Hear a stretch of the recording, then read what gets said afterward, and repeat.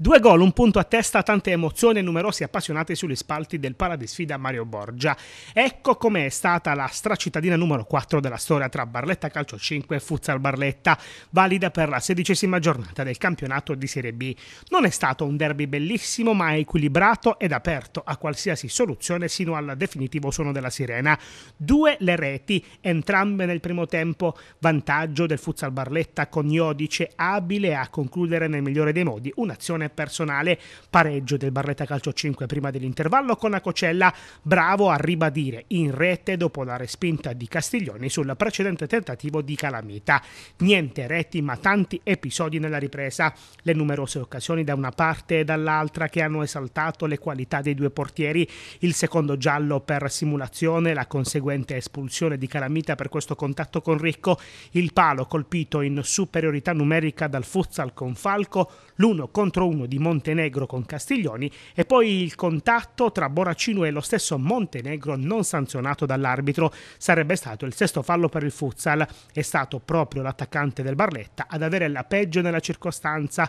5 punti di sutura al mento per lui e trasporto in ospedale per accertamenti.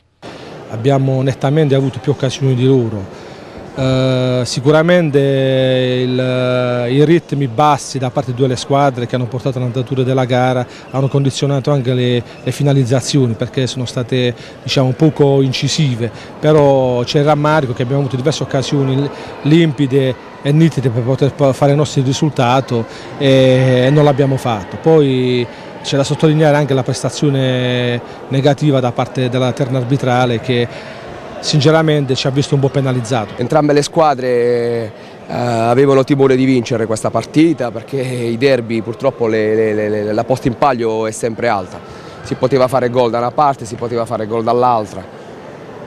Le assenze si sono anche viste troppo nel campo perché ci mancava il fulcro del nostro gioco che è il pivo, il pivo di posizione, però alla fine dai, penso anzi sicuramente un risultato giusto. Vittoria netta nella forma e nella sostanza invece per il Futsal Bisceglie che supera 9-0 il Venafro al Paradolmen in una partita praticamente senza storia chiusa virtualmente già nel primo tempo.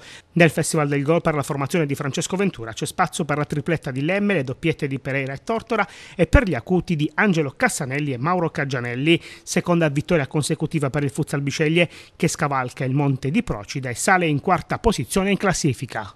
Abbiamo iniziato con la testa giusta sin dall'inizio, giocando con carattere.